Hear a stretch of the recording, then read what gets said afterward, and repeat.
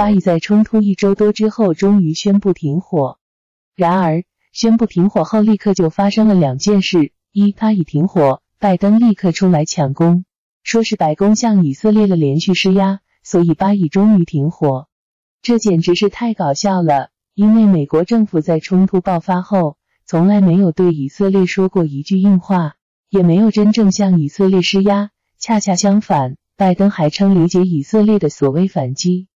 在联合国安理会，美国更是连续三次。阻挠安理会发出一致声明，这就是美国向以色列施压。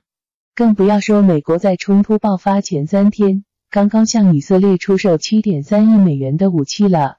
巴以停火和美国可以说没有一毛钱关系。如果没有美国，以色列根本不敢如此强硬，也不会造成如此大的人道主义灾难。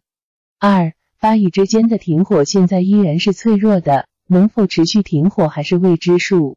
那么，巴以停火真正的原因是什么呢？巴以冲突之所以停火，最重要的斡旋和压力是来自中国而非美国。巴以冲突爆发后，中国率先呼吁停火，并且在联合国安理会连续三次发起动议，要求安理会谴责以色列并立即停火。然而，这三次动议都被美国给否决了。哪怕如此，中国依然推动召开了安理会，向全世界表达了中国的立场。并且之后与多个中东国家进行沟通斡旋，展开了劝和促谈的系列行动。尤其需要指出的是，中国与埃及方面的沟通最后起了很关键的作用。以色列是在与埃及的接连沟通后同意停火的，所以本质上这次停火与美国根本没关系。美国只是假模假样的呼吁停火，根本没有实质性行动，而且阻拦联合国的施压。这怎么可能与美国有关系？怎么是拜登的功劳呢？如果没有中国的施压和斡旋，以色列恐怕没那么轻易停火。拜登之所以吹嘘是美国的功劳，其实就是想给自己脸上贴金，想证明美国在巴以问题上的影响力。然而，现在全世界都看到了，美国在巴以问题上已经失去了影响力，反倒是后来介入的中国。在这次巴以冲突中发挥了最为积极的作用。对于这次停火，以色列还是不满意的。这一点从停火后立刻爆发以色列军警与巴勒斯坦平民之间的冲突可以窥斑见报。对于巴以停火、拜登抢攻、巴以冲突再起，这些剧情都不令人意外。令人意外的是，以色列驻华大使馆竟然公开批评中国国际电视台，针对巴以冲突。五月十八日，CGTN 进行了报道。报道中称，有些人认为美国的以色列政策受到那些在美国富有的犹太人影响，一些外交决策者也受到了犹太人的影响，称以色列人靠着富可敌国的财富来游说美国支持他们。很显然，这是众所周知的事实，因为以色列建国就是在美国支持下建立的。而美国之所以支持以色列在巴勒斯坦建国，其中很重要的因素就是美国犹太利益集团对美国政府的游说。据有关统计，在过去的七十来年时间里，美国对以色列援助高达二五零零多亿美元。若非美国犹太利益集团作用，天底下哪还有一个国家如此单方面援助另外一个国家，且持续这么久的？因为美国的犹太人掌握了美国百分之七十的财富，这对金元政治的美国来说。影响是显而易见的，而且美国犹太人富豪、政要、学者非常多，这当然都是犹太人对美国政府的影响力根源。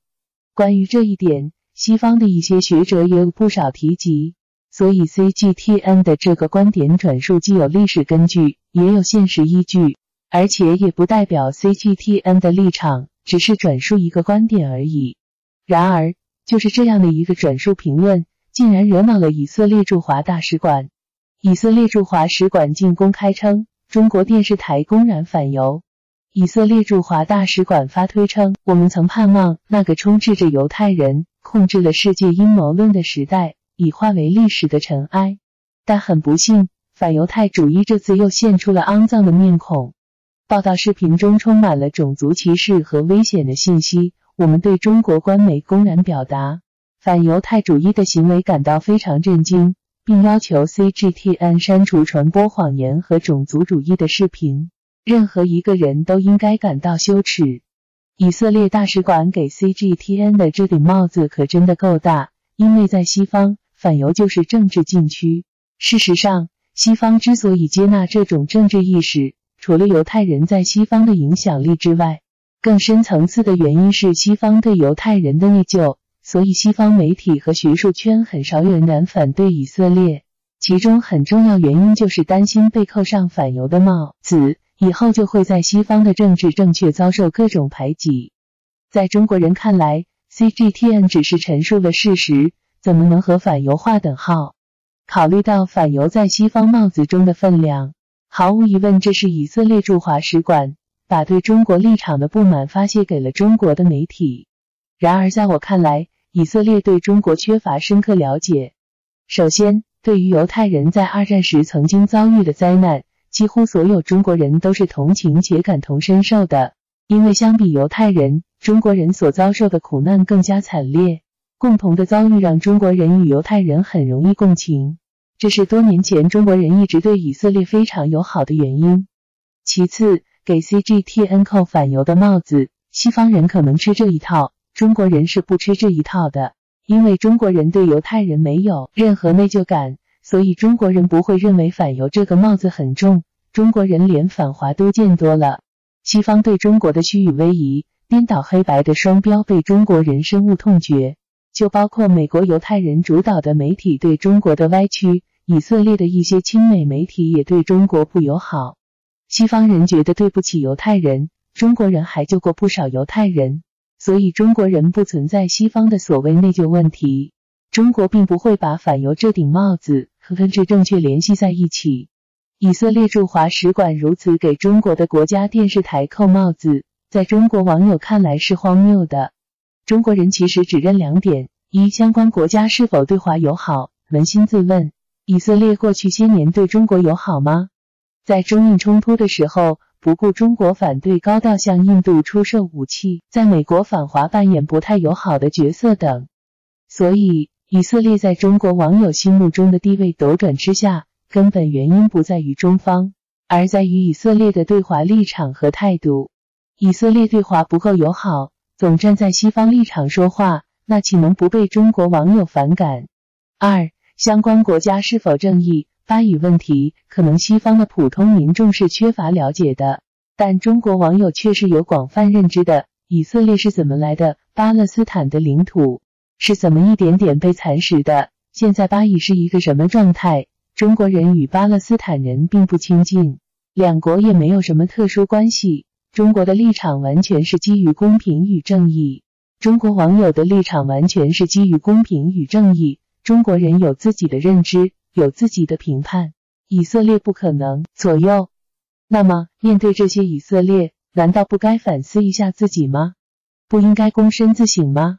哪怕退一万步说，哪怕你不想反思，也不准备躬身自省，那至少也得允许别人说话吧。中国的媒体只是说了一些事实，结果就被扣了一顶反犹的帽子。中国人怎么可能吃这一套？而以色列大使馆的这一行为，其结果只能是引发更多中国网友对以色列的强势反弹。以色列的言行反而会得罪更多中国人民。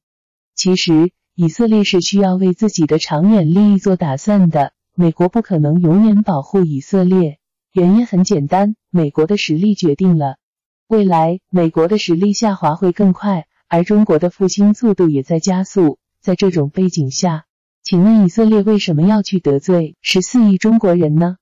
以色列如果处置不当，得罪了中国新一代年轻人，未来几十年可能在中国的形象都很难扭转。而中国一零年后 GDP 必然超美，二十年后综合国力一定会甩开美国。在这种情况下，以色列一定要得罪中国，后辈难道不冒凉气吗？